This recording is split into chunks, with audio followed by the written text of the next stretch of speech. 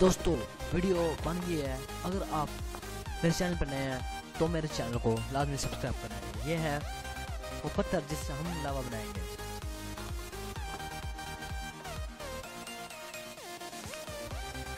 Video आपने पूरी देखनी है। अब हम इसमें रखेंगे लावा। देख से चेक किया ना मेरी, कैसे आग लगाने का, कैसे तरीका। अब हम इसको लावा बनाने के लिए रख देते हैं, ताकि लावा जल्द से जल्द बन सके।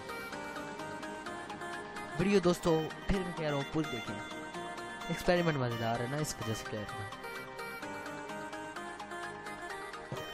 ये हमारी आइस का डब्बा है। इसमें हमने आइस रखे हैं। देख सकते हैं आप आइस कितनी ठंडी है। हमें ग्लास पहनने पड़े मजबूरन, क्योंकि इधर सर्दी भी बहुत है। इसको हम टीन की बाल्टी में डाल देते हैं।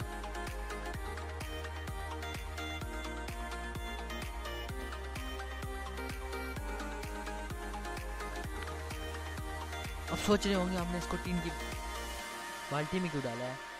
हम किसी बड़े नुकसान में नहीं पड़ना चाहते थे, इस वजह से हमने इसको टीन की बाल्टी में डाल दिया।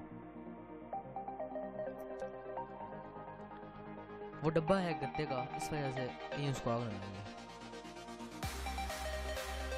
चलिए, हमारी ये तो तैयार हो गई है। अब हम जाते हैं लावे की तरफ़। हमारा ये देख सकते हैं आप, लावा भी हमारा फुल तैयार हो चुका है। देख सकते हैं आप, लावा फुल तैयार हो चुका है।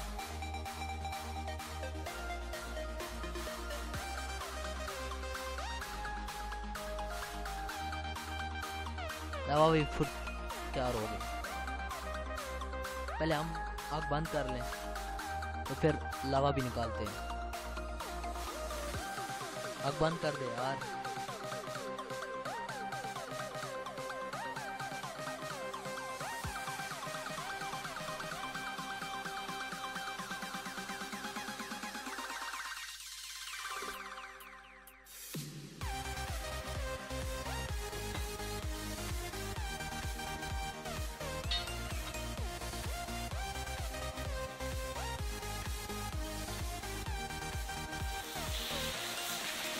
ओ सकते हैं।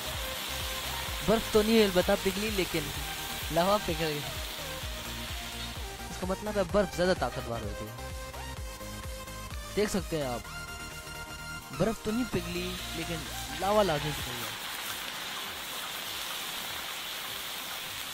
लावा पत्थर बन जाएगा भी लेकिन पत्थर बन रहा है लावा फुल सूख चुका है। अब देख सकते हैं लावा फुल सूख चुका है।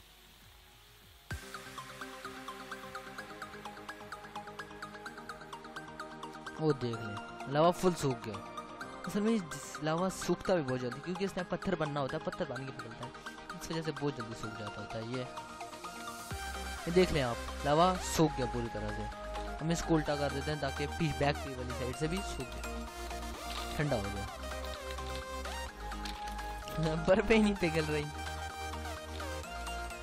अगर आपको हमारी वीडियो अच्छी लगी तो लाजमी लाजमी सब्सक्राइब करें हमारे चैनल को और लाइक भी करें। इस तरह की अमेजिंग एक्सपेरिमेंट आपके लिए लेके आते रहेंगे। आपकी आपका शुक्रिया, आपने हमारी वीडियो देखी। अगली वीडियो तक अपना ख्याल रखिएगा।